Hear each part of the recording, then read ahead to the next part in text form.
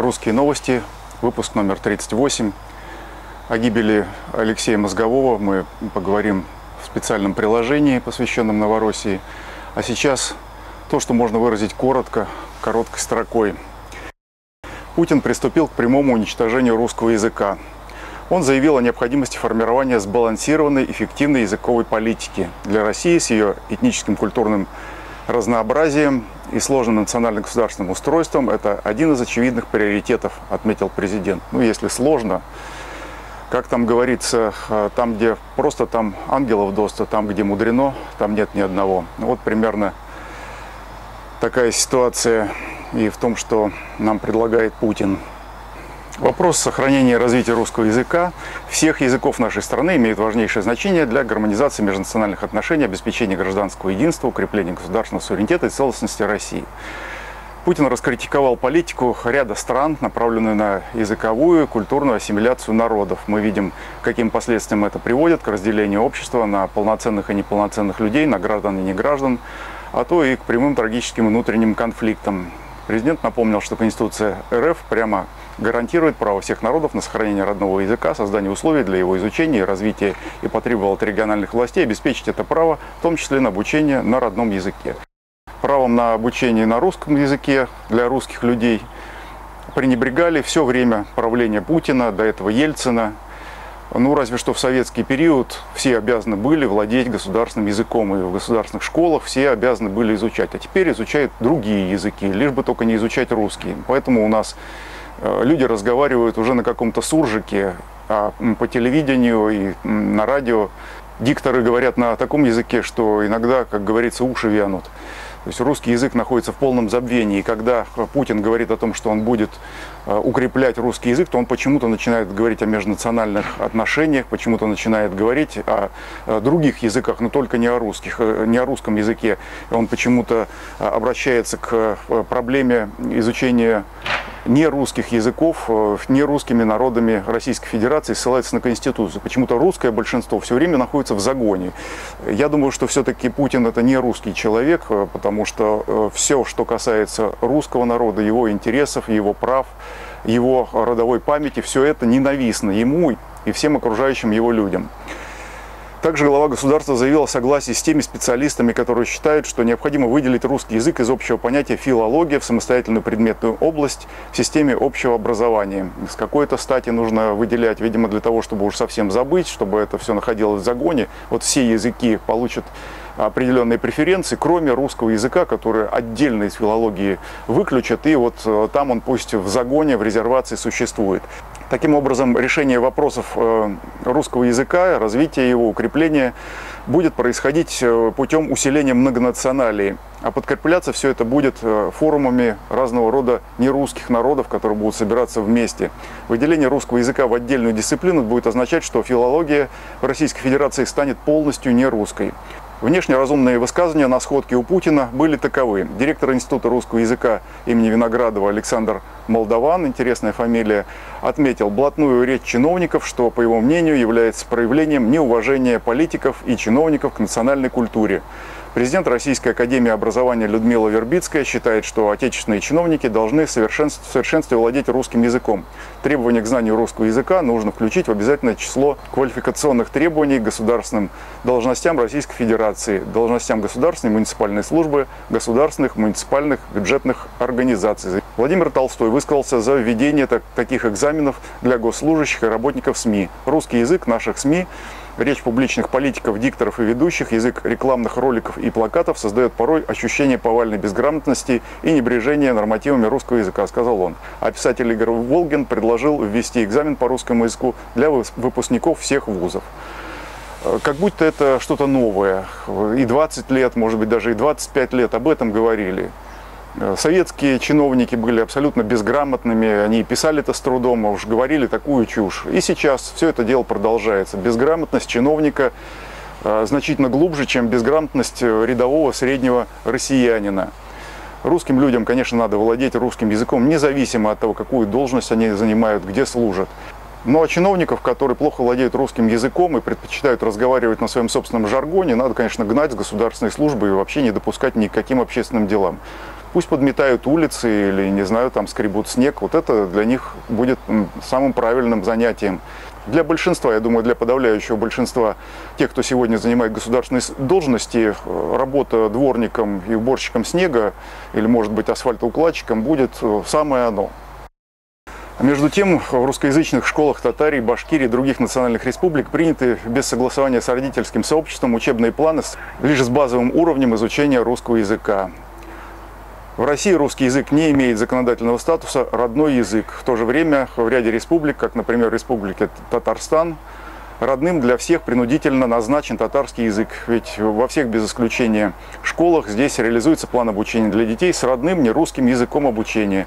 То есть, как для татарских национальных школ с минимальным количеством русского языка и литературы, но по 5-6 уроков татарского языка в неделю в течение 11 лет – Принудительное обучение татарскому языку введено сейчас в детских садах Республики Татарстан для малышей всех национальностей и без э, согласия их родителей. В остальных регионах такое обучение без согласования с родителями пока что не практикуется, но, видимо, все к этому идет. Наконец, учащиеся национальных республик, вопреки их желанию и потребностям, независимо от э, наличия или отсутствия языковой среды, законодательно принуждают э, изучать государственный язык республики. Ну, поскольку э, все эти тезисы были высказаны э, в обращении интеллигенции к руководству страны и к парламенту страны, то тут же выскочил Шут Жириновский, который э, об этом стал говорить направо и налево, и только его стали показывать по телевидению, как будто он является первооткрывателем в этой области.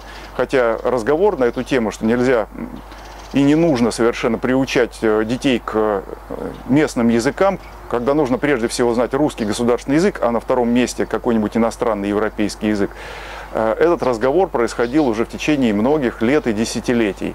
И вот сейчас, как новизну, нам подают, Жириновский опять э, выделывает свои коленцы, оскверняя, э, дискредитируя те идеи, которые высказывает русская интеллигенция. Жириновский постарался перехватить тему, и ему представили все телеканалы, чтобы опошлить требования общественности, прекратить заставлять детей в школах учить татарский язык. За многолетний бред Жириновский не раз удоставился наград от нынешней власти. Видимо, для пополнения коллекции своих значков, которые он собирает. Это циничное и уже вошедшее в традицию осквернение русских символов, которые на систематической основе предпринимаются кремлевским режимом. Жириновский был награжден только что, вот на, недавно на днях, э, Владимиром Путиным орденом Александра Невского. Конечно, это э, не просто пошлость, это наглость, дискредитация русских национальных символов. Где Александр Невский, святой Русской Православной Церкви, и где Владимир Жириновский, пошляк и негодяй. Извращенцы и растлители в Российской Федерации получают надежную защиту от власти. Появившийся в сети в апреле видеоролик с номером Оренбургской танцевальной школы студии «Пчелки и Винни-Пух» получил огромный резонанс. В ходе него девочки в откровенных нарядах исполняли групповой танец, одним из главных элементов которого является движение ягодицами. Видеоролик с танцевальным номером являлся отчетным концертом группы перед родственниками и друзьями. Подавляющее число участниц мюзикла – это девушки 16-18 лет и старше. Среди них было и 3 14-летних, и 2 15-летних девочки. Педагоги представили следователям договоры, в которых родители школьниц дали согласие на обучение данному танцевальному стилю. Как будто родители знали, что вот такое безобразие на всю страну будет показано, и их дети будут опозорены. Следователи Оренбургской области не нашли в скандальном танце школьниц-пчелок развратных действий и отказались возбуждать уголовное дело.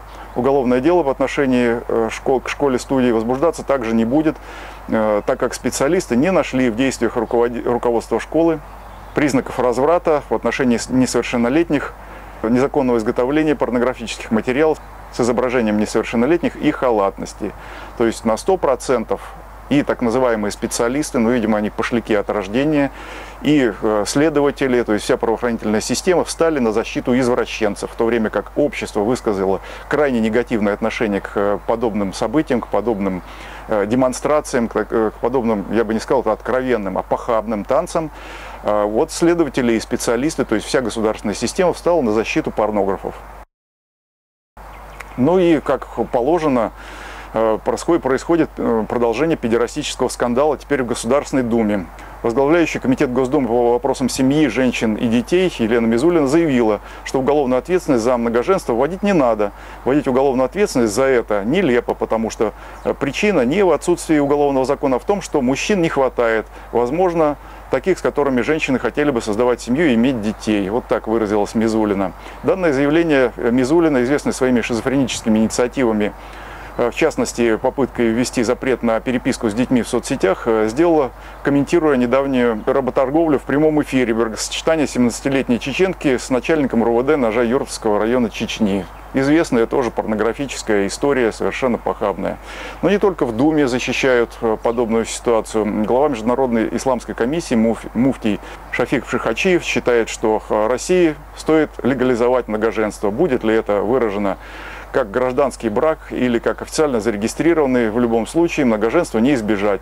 Я в России работаю 28 лет. Это такая реальность, которая на нас надвигается. Ну, видимо, на мозги надвинулись какие-то тучи у этого муфтия. Он не понимает, что он живет в России, э, там, где русская культура предполагает моногамный брак, а не вот эти безобразия, которые мы сейчас видим и которые так цинично выставляются на показ.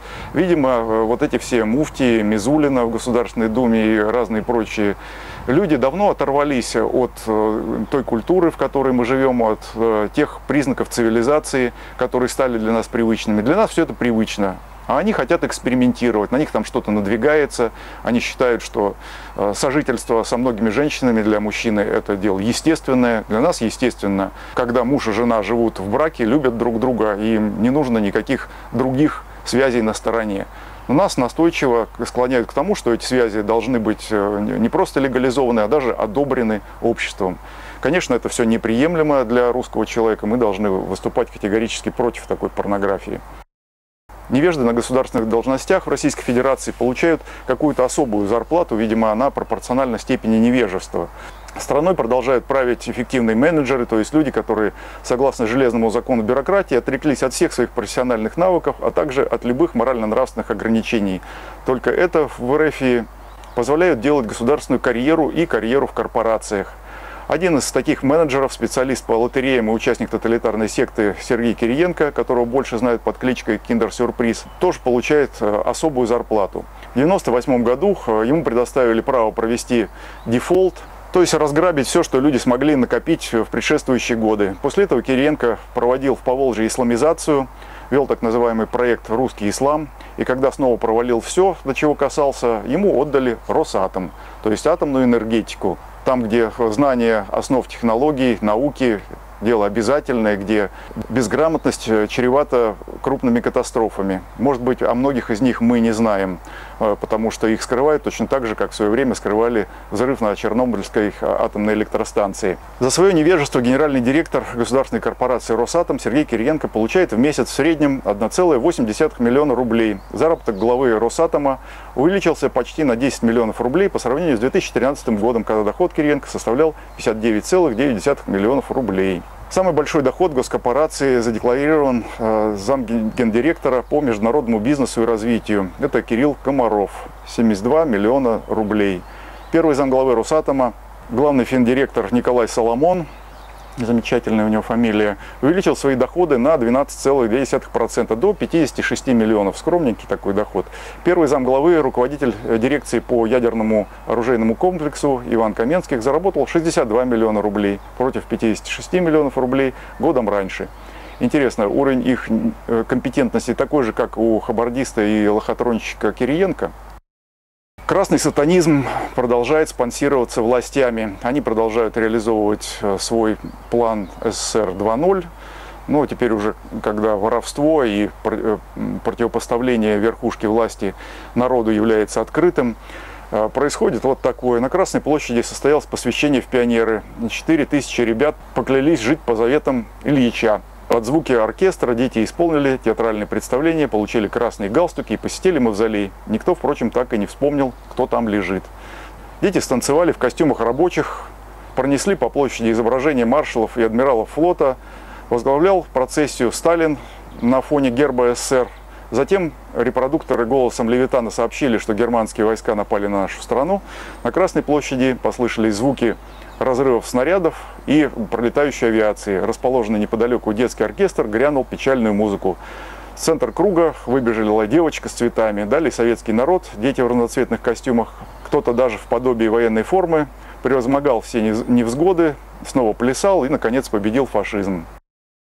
На костях жертв красного террора Министерство культуры затевает новый масштабный проект. Оно планирует э, отметить столетие революции. Ей уже придумано новое название. Не Великая Октябрьская революция, как раньше, а Великая Российская революция. С точки зрения современной исторической науки, февраль и октябрь были не двумя разными революциями, а этапами одной. Поэтому, видимо, оправдывая февральскую революцию, хотят оправдать и октябрьскую, и все последующие безобразия, все последующие издевательства, прежде всего, над русским народом. В рамках подготовки к памятным мероприятиям пройдет множество круглых столов. Первый из них провел лично Мединский, министр культуры, в Музее современной истории России. А в компанию к себе пригласил директоров исторических институтов и кафедр. Мы готовимся к грандиозной дате, сообщил министр культуры. Эта революция, сама попытка народа построить справедливое общество изменила весь мир. В ее результате государства стали социально ориентированными. Но она расколола наше общество и раскалывает до сих пор. К революции относится либо как к абсолютному злу, либо как к абсолютному добру. Она и канонизирована, и проклят. Я думаю, что разница во мнениях должна не раскалывать, а объединить нас в исторической дискуссии. Бединский предложил установить памятник национального примирения в Крыму, где, по его версии, закончилась гражданская война. Минкульт объявил конкурс среди скульпторов, но сам министр видит монумент так. И красными, и белыми двигал патриотизм. Все отстаивали свои идеалы, кроме тех, кто расстреливал. Осудить террор необходимо, но нужно проявить уважение к героям всех сторон, и красным, и белым, а может быть и к зеленым. Видимо, что-то зеленое в голове у министра завелось. Мы видим ползучую реализацию шизофренической концепции СССР 2.0, которая заказана Кремлем с одной целью – не допустить возрождения русской России. Кремлевский либерализм по всем направлениям терпит крах, поэтому спасение от русского исторического пути для шайки, захватившей власть, только одно – вернуться на свою блевотину.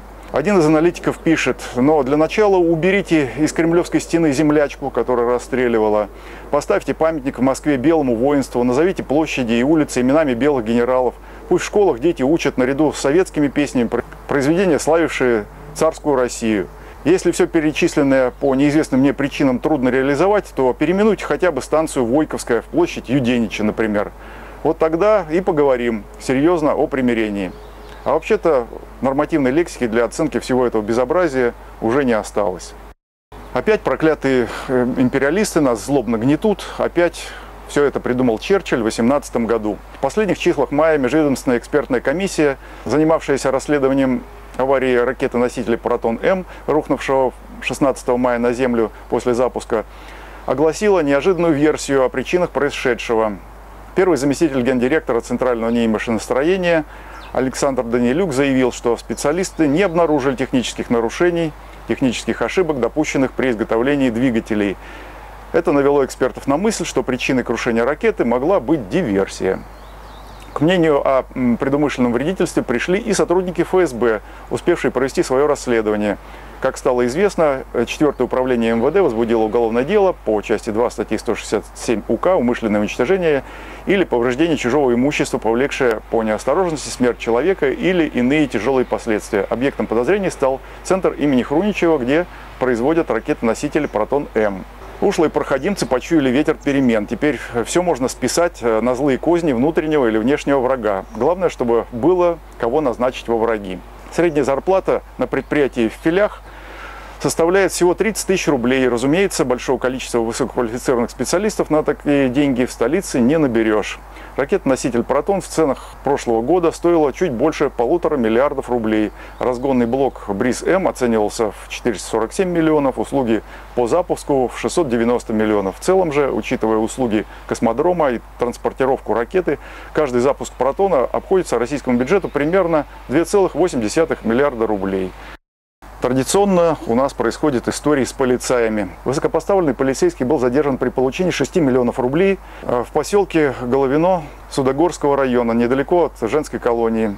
Взяткодателем оказалась осужденная два года назад москвичка, бывшая генеральный директор турфирмы отбывавший во Владимирской колонии наказание за мошенничество. По данным Следственного комитета Владимирской области подозреваемый был задержан с поличным при получении денег. Одновременно с ним был задержан посредник, адвокат мошенницы, член адвокатской палаты Москвы. Вот, видимо, за это и работают те самые полицаи, которые издеваются над русским народом, которые возбуждают уголовные дела по политическим статьям. Ну и вот этот случай, он просто иллюстрирует, с кем мы имеем дело реально. Ну и вот еще одна иллюстрация. Руководство Следственного комитета по Новосибирской области придало огласке информацию о своих доходах. Председатель ведомства Андрей Лилека задекларировал доход более 3,4 миллионов рублей. Несовершеннолетние дети руководство силовиков пользуются квартирами в Чехии и заработали по 3 миллиона рублей в год. Лелека имеет в своем распоряжении земельный участок площадью 627 квадратных метров. Он вместе с супругой использует э, жилплощадь размером 112, 121 квадратный метр. Кроме того, в долевой собственности жены и ребенка находится квартира площадью 90 квадратных метров. Первый заместитель председателя управления Андрей Щукин получил доход 2,9 миллиона рублей. И он распоряжается двумя квартирами общей площадью 166 квадратных метров долевой собственности вместе с женой и ребенком. Его жена имеет дачу и земельный участок. Ну, вроде так скромно, но опять же доход какой-то запредельный для наших времен. Руководитель следственного отдела по Бердянску заработал почти полтора миллиона рублей. У него в владении есть три квартиры, еще одна принадлежит его супруге. Также она распоряжается земельным участком площадью 1,2 гектара. Вся недвижимость сотрудников Следственного комитета локализуется в России, однако в пользовании несовершеннолетнего ребенка руководителя Следственного отдела по Дзержинскому району имеется квартира в Чехии площадью 70 квадратных метров. У его второго ребенка во владении есть российская квартира 52 квадратных метра. Самым высокооплачиваемым сотрудником Следственного комитета Новосибирской области стал глава первого отдела по расследованию особо важных дел. За год он получил более 5 миллионов рублей. На втором месте с 3,8 э, миллионов э, сын депутата законодательного собрания Игоря Гришунина, который работает э, заместителем главы железнодорожного межрайонного следственного отдела Новосибирска. Мы видим здесь э, все признаки коррупции, то есть все признаки расходов, которые не соответствуют доходам, э, расходов на получение вот этих самых квартир. Я не говорю о том, что часть доходов наверняка является нелегальной.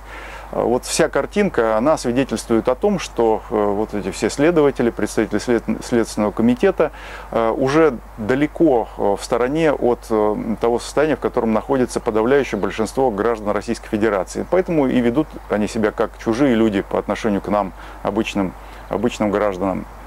Во всей стране банда преступников, получивших от преступного режима полномочия, преследует русских людей. Из Новокузнецка Юрий Бубенцов пишет.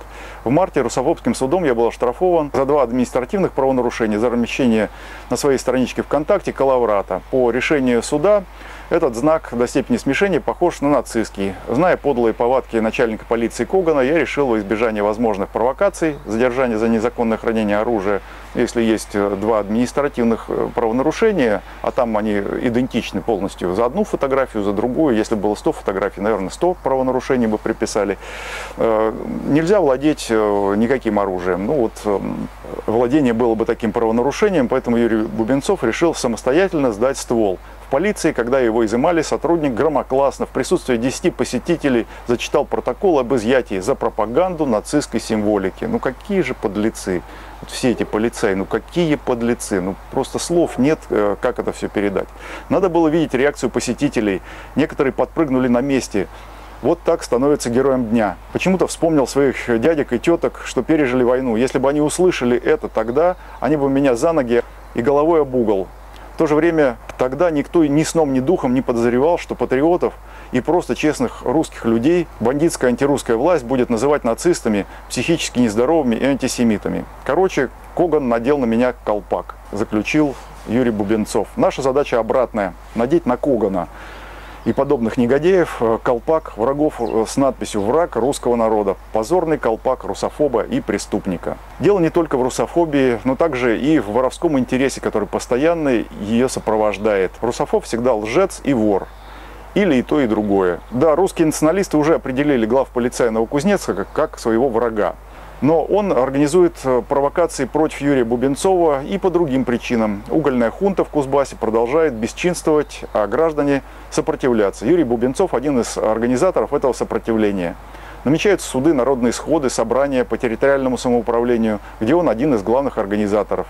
Кто победит, народ или режим оккупантов и полицаев – это зависит от того, очнется ли сам народ от наркоза, которым ему убили мозг и душу. Мы призываем всех проснуться. В Новокузнецке поддержать Юрия Бубенцова во всех его инициативах, а также выступить против вот всех этих подложных уголовных и административных дел, против судов и против глав полицая Новокузнецка, русофоба, негодяя, Когана. Вопрос о земле.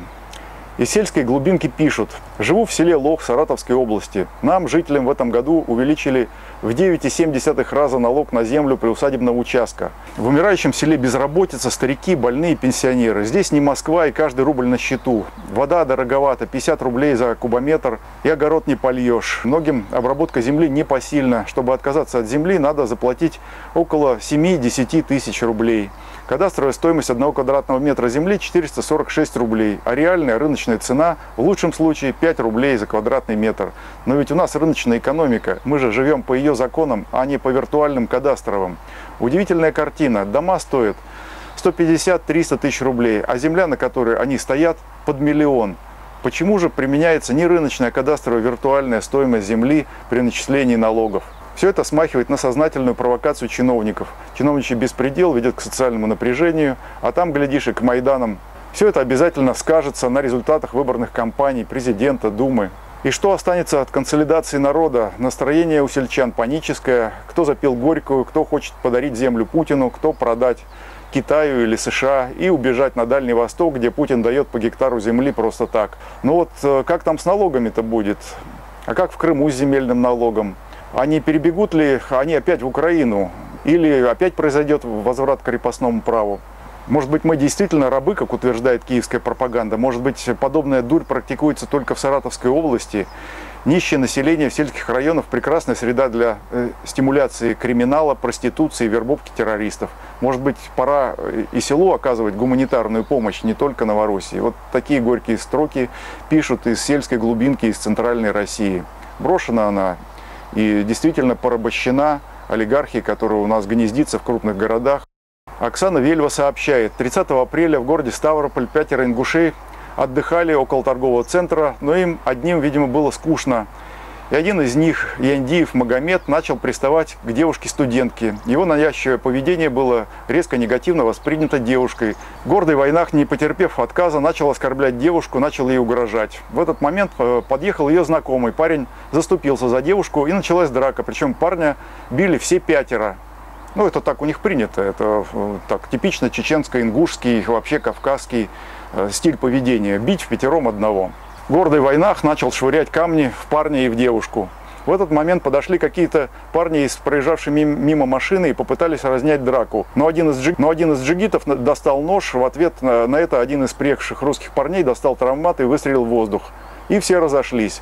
Парня, которого в пятером избивали ингуши, отправили в больницу. Ингушей задержали. Матери задержанных ингушей написали слезное видеообращение главе республики Ингушетия, где называли город Ставрополь националистическим, где притесняют бедных несчастных ингушей. Оскорбление целого города – это не повод для того, чтобы возбудить уголовное дело. Я спрашиваю э, об этом у господина Чайки, генерального прокурора Российской Федерации, который по таким Э, высказыванием со стороны отдельных русских людей всегда возбуждает уголовные дела. А вот в данном случае коллективное обращение, коллективное оскорбление Ставрополя, где, оказывается, притесняют сплошь все, видимо, каждый житель Ставрополя притесняет всех без, э, без приезжающих туда ингушей. Да лучше бы они туда не приезжали. У вас, э, господа ингуши, есть своя Ингушетия. Ну сидите там, разберитесь там со своим криминалом. Что вы лезете к нам в русские города? Что вы пристаете к русским девушкам? Что вы привязываетесь к русским парням?